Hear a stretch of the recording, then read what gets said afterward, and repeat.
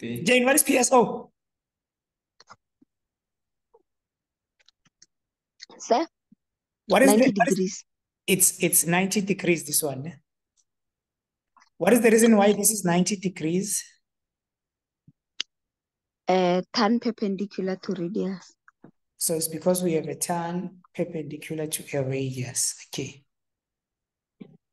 And then uh, we got this one as 90. So this is our given angle.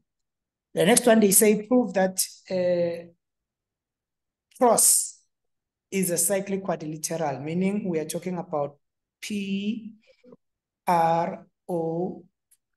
This thing here, it's a cyclic quadrilateral. How do you prove this thing is a cyclic quadrilateral, Jane, number two? Uh, I say that RTP, what are you Uh, required to prove? I'm required to prove that angle R and angle S at Angle 200 and So you want to prove that angle R and angle S, they are going to add up to 180 degrees. Huh? yes. Okay. Now you already know what is angle S, I get. What is angle S? Angle S is 90. Angle S 90 degrees. Okay. So you just have to prove which R is 90 degrees. How do you prove that? I say R is 90 degrees. You simply tell them straightforward, R is 90 degrees. Why is R 90 degrees? Tan perpendicular to radius. So we have a tan perpendicular to a radius. And then it means therefore, uh, we have R Uh, plus S, which is equal to S 180. which is 1 8. Okay, then we can say this is a cyclic quadrilateral. So pros is a cyclic quad. How did you prove our cyclic quad? The converse of uh opposite sides.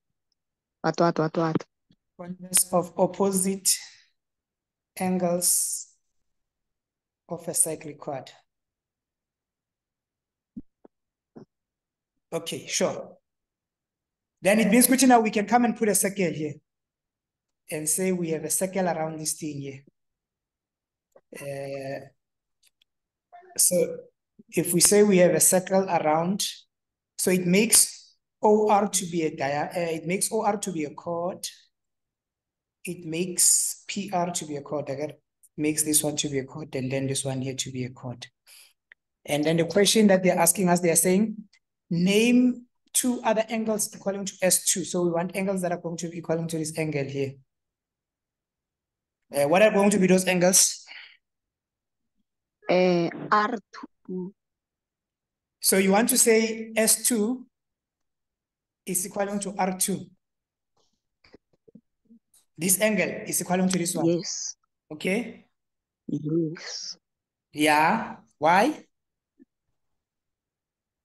Uh, uh, so can I start by saying PS is equals to PR first?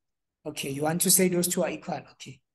So let's start there. You want to say PR is equaling to PS. eh? Is equal to uh, They're equal because they are tan from same point. Okay. Then you want to say what? same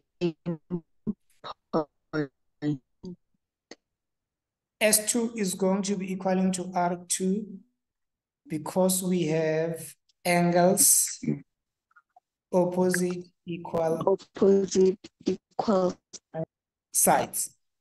Okay, we want the other one then. So we got this one is equaling to this one is equaling to this one because tan from the same point. Okay. What is the other angle equaling to S?